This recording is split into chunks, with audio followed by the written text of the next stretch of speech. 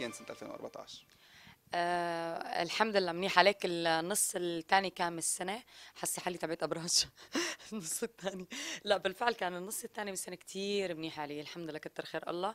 أه متفائلة كتير إنه 2015 إن شاء الله يا رب تكون سنة محبة وسلام على كل العالم بالأخص على بلدي سوريا. بدك تشطبي لي شيء صار بال 2014 بتقولي يا ريته ما صار.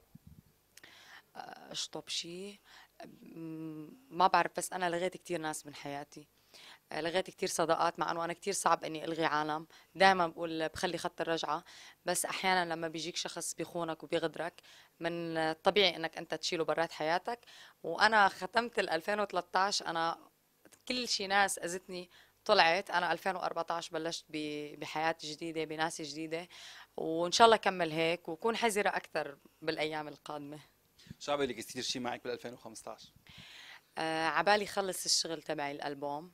جاء على بالي البوم يعني أنا كنت كثير عم أقول single.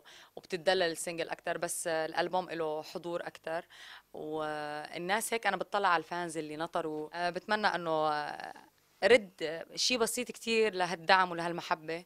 آه نعمل ألبوم لأنه إحنا مقررين آه كل أغنية يكون في لها كليب. إذا هيك الله ساعدنا ووفقنا لأنه الناس بتستحق. وفي كتير أعمال مع كتير ملحنين.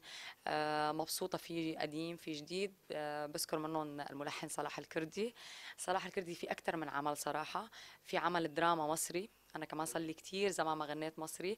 آه من الشعراء بدي أذكر آه الشاعر علي المولى. سعيدة جدا بالتعاون معه لأنه عاطيني مواضيع أكثر من رائعة. كمان رح كرر التجربة مع فادي مرجان وعلي حسون بس بأغنية شعبي كتير صعبة.